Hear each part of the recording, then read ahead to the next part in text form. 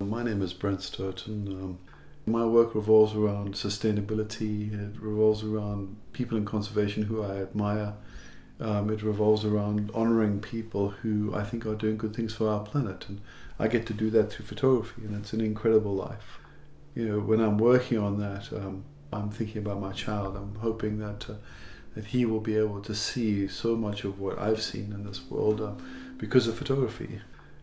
You know, I've been reading amateur photographer for many, many years. I grew up in South Africa where we couldn't get many publications related to photography for a very long time.